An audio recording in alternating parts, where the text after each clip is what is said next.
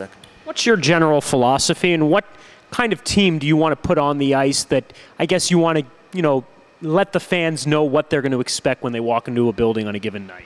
Well, the, the, the, biggest thing, uh, you know, I want the guys to be creative offensively. Um, you know, we got to take care of our own end first. Um, you know, I, am definitely, you find the successful teams are the ones that, that do defend well, that limit high end scoring chances, you know, that, that really does the grunt work in the defensive zone, that's able to generate speed through the neutral zone and have fun and be creative in the offensive zone. Um, you know, I'm not a, a, big, you know, believer in sit back and wait and trap. You want to be able to pressure the puck, um, but at the same time, you have to be flexible enough to take the, take the pieces of the puzzle you're given and adjust the puzzle. Um, so, you know, Jason Sopolo, my assistant coach, and myself are going to have a, a base structure that we're going to use and then look at the pieces that Florida gives us and then make adjustments. You know, we're, we're not afraid to, to reinvent ourselves at different points throughout the season if we have to. Call ups and injuries are going to happen, and you can't get pigeonholed into one type of play. So, you know, we're, we're both very capable of making those adjustments. And, you know, I think the fans are going to see we're, we're going to have a group that's going to like to finish their bumps. Um, we're going to have guys that can, uh, you know, take care of business when it, business has to be taken care of, and uh, you know, we're going to have a group that can move the puck and, and create some offense as well. And what, and then, like I said, it's we're a young organization as a whole, so there's a lot of guys here that realize how close they are to playing in the NHL, either again or the first time. And uh, usually that makes a pretty competitive environment at the American League level. You kind of segued into my next question, but Rampage fans historic, historically have always loved their tough guys, whether it be a, a Jimmy Vandermeer or last season Eric Nielsen coming in. Francis Lessard has uh, been a heavyweight here for a couple of years. Who's the heavyweight uh, on the Florida Panthers uh, slash uh, New San Antonio Rampage roster that's going to be here? Well, I, I think we, what, what, I like is I think we're going to have some team toughness. I think we're going to have the element here. Um, you know, guys like uh, Yonkman, he can protect teammates uh, at this level. You know, he's a guy that's got to play hard and be hard with his stick, and he can protect teammates when necessary. Um, if he's here, um, you know, if, if a Tyson Strachan's here, is a guy who can move the puck and makes plays, but also plays with that edge uh, in the back. Um, Mike Caruso is a defenseman who started later in the year playing with a little more edge, and I think he recognizes for the next step in his career, he's going to kind of have to kind of take on a little bit more of that physicality to his game. He's already a great puck moving defenseman, but I think he realizes to separate himself within the Panther organization, he's going to have to bring that toughness. And probably, um, you know, up front, you know, I've heard Bracken, you know, is willing to mix it up with the, the middle weights a little bit when he has to create energy. Um, and then Eric Selleck, you know, was our heavyweight last year, and um, Rochester. But what I love about Eric is he can play. He had five goals and 10 assists for us last year, um, and he can make plays as well as fight. I think he had 28 or 29 majors last year as a rookie um, you know, fighting all the heavyweights and, and, whoever, and whoever came looking. Um, but he's a guy that he's so talented and he can skate that people chase him around. So I, I, he's not one of those guys that has to go out, lines up on a face-off, and goes, "Hey, let's go." He's a guy that because he just ran over their lead, three leading scorers the last shift, other teams are like, "Geez, we got to settle him down," and uh, which usually leads to a lot of his uh, his uh, fisticuffs, I guess. well, time to go to our uh, fan question and answer mailbag. We had an opportunity for some of our fans to kind of jump in and, and ask the coach uh, their uh, their questions. And one of them comes from uh, Jordan Williams, season ticket holder right here in San Antonio. And it's a it's a good question because you've been in Rochester, and so obviously you don't get down here very often. But have you had a chance to look around the AT&T Center? And if so, how does it compare to other buildings uh, across the American Hockey? Oh, it's a fantastic building. You know, I just got done kind of getting a little tour, and uh, you know, hands down, it, it's one of the top two or three buildings in the league.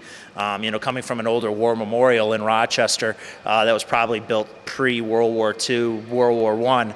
Um, it's a beautiful building. You know, the locker room facilities are first class, and you know, I've, I've kind of hearing through the grapevine that uh, the Rampage walked away with most of the awards last year from a business standpoint. So I'm looking forward to working with the front office and you know, continuing to make this a successful organization on and off the ice. Another question to us, uh, and it comes from Alan, and uh, he would like you to kind of maybe provide, and I know it's tough, obviously, sitting here on July 22nd, but he would like you to maybe provide a little bit of a sneak peek into maybe the opening night lineup that we could see uh, in October. Well, that's, that's so tough right now because, you know, with Florida, the way they're, they're built, it's going to be a very competitive training camp. And I don't want to pigeonhole any guys, um, you know, from that standpoint. Um, but you look at some of the guys that are on two way contracts, which are NHL American League contracts.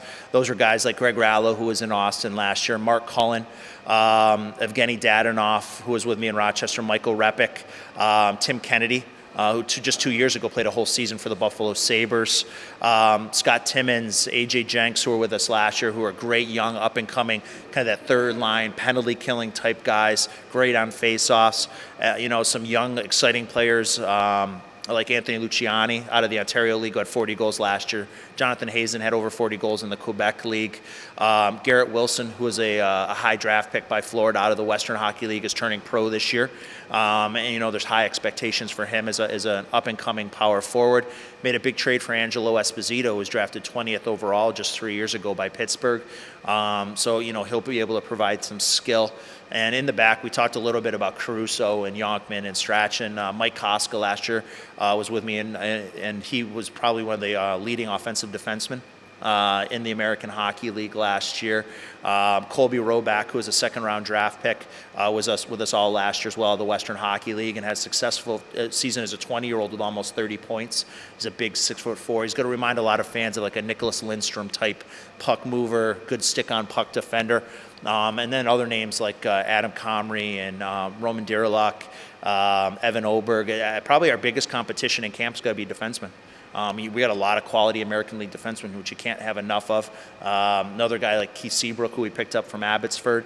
Um, I know there's names out there I'm missing right now. I think you named enough for two teams right yeah, now. you know, and uh, you know, and there's going to be a big battle for the backup goalie job. Um, you know, there's three talented kids.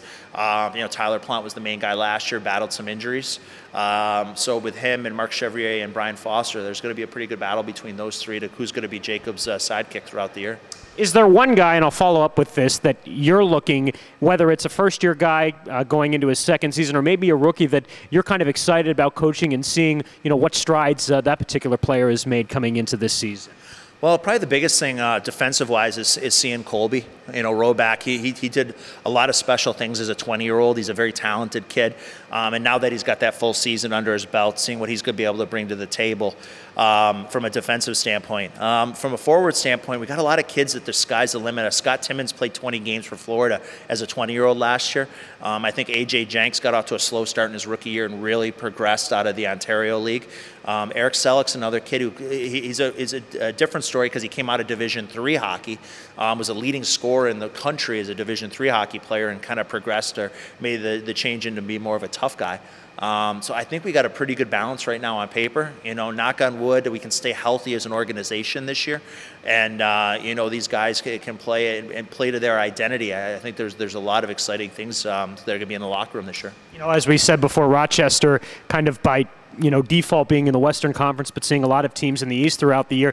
Do you feel, and I know you've seen uh, by being in the North and playing a lot of those Western Conference teams, do you see a difference at all in style? And are you anticipating a difference in style from the game that's played in the smaller rinks in the East to maybe the bigger, you know, NBA style arenas here that are out uh, in the West? No, I don't think you're going to see a big style change. I think you're going to still be dealing with a lot of young, hungry hockey players.